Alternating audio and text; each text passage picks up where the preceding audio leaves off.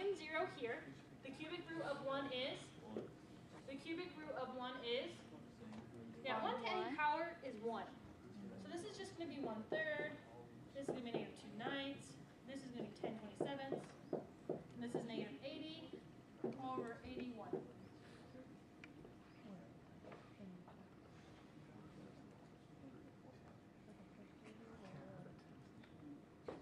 Can you tell how many times? nine. The faster I do it, the more experience I have. If that doesn't tell you something, I can't really help you. Okay, now I just write these out. Now I'm gonna write this over just a little bit.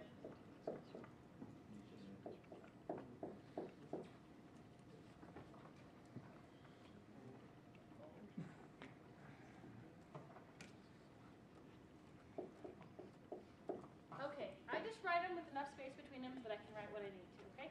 The first one doesn't get an X. The second one gets an X. The third one, it goes up by one power every time.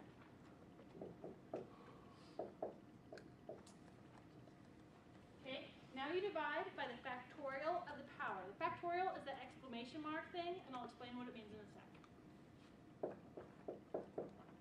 Are you guys feeling okay about this test? Yes. Good. So this is going to be 1 plus 1 third x minus 2x squared over 9. 2 factorial just means 2 times 1. You factorial, you take that number and you multiply it by every whole number less than it until you get to 1. Okay? Plus 10x cubed over 27 times 3 times 2 times 1 minus 80x to the fourth over 81 times 4 times 3 times 2 times 1.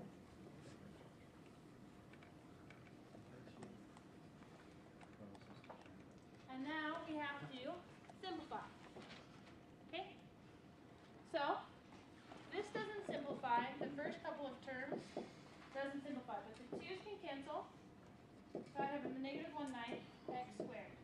The 10 and the 2 can cancel. So that I have 5 over 81 x cubed.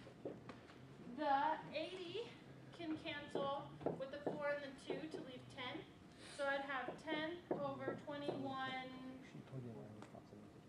81 times 3, 243, 243. I would be able to ask x to the 4. Is that right? I think so. Yeah.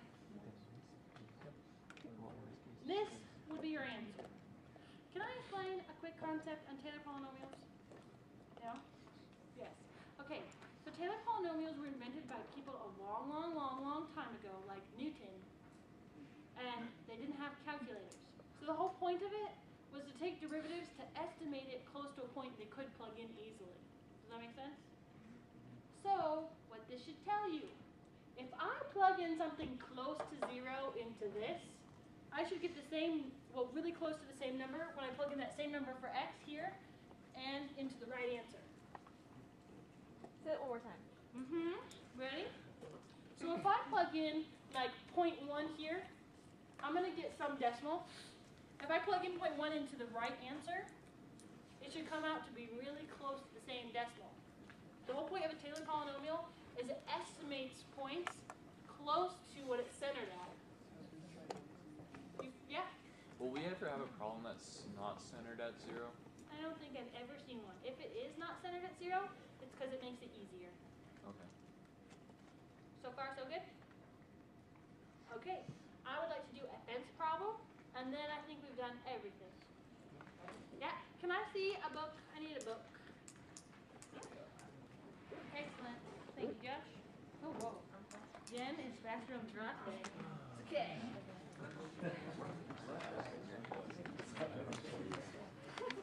I don't think anyone can spell your book. Pray for you all. Okay, I'm gonna do number 11 because it looks the hardest. Uh, 6.2. I just don't feel like making him change camera, so I'm just gonna erase the other board. So yeah, x There. Okay, I don't promise how soon I'll get the video up, but I'll get it up before the final, which is why I'm videoing it, so that you can review for your final.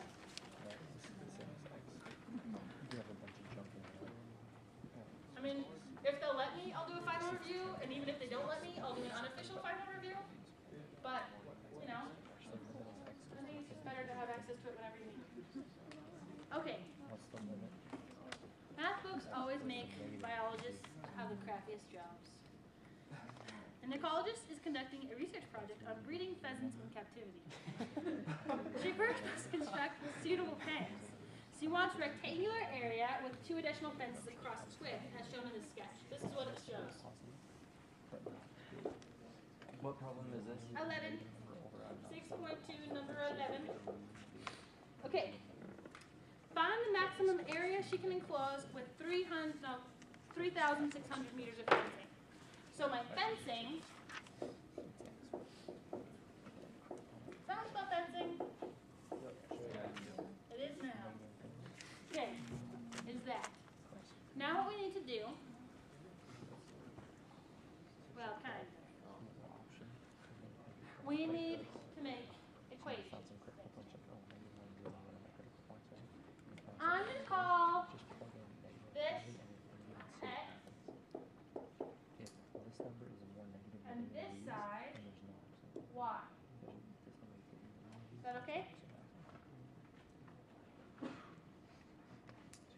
So I have x, x, x, x, four x's, and two y's. Half equal three hundred, oh, sorry, thirty-six hundred. So far, so good? Excellent. Now we want to maximize the area, right? So area is x times y. Please stay there. Doesn't work. Again.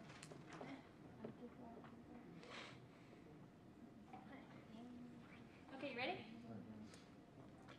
I'm gonna solve this one for y just because I like x's better. I'm biased. So I have 2y equals 3600 minus 4x.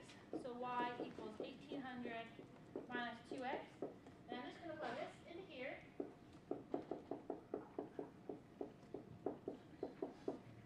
Distribute, take the derivative, and set it equal to zero. Fair?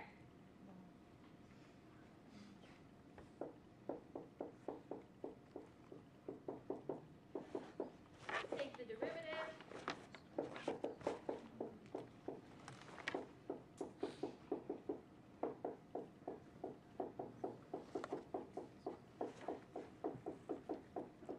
Is it four hundred and fifty? Yep. I was pretty sure. That's your x, so then my y. Yep. So, if they want the dimensions, it's four fifty by nine hundred. If they want the area, it's four fifty times nine hundred. Got it? Yes. Why was it four X? One fence on this end, one fence on this end, and two fences in the middle. No, this is a problem. So you gotta be simple. Simple? Easy enough? You still own me for at least five minutes? What do you want? To move. Okay, I can move. Sequence series. What? Sequence series. Sequence and series? Yeah, actually, I do have one more tricky one that they like to ask. You ready? Ready. Thanks for reminding me. Okay, so, oh, the wording is what makes it tricky.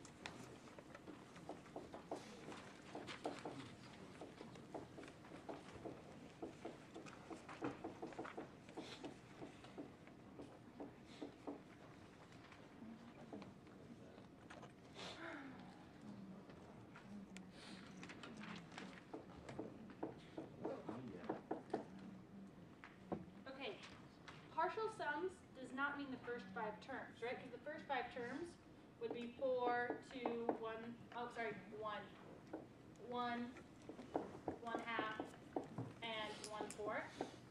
The first five partial sums is four, six, seven, seven point five, and seven point seven five.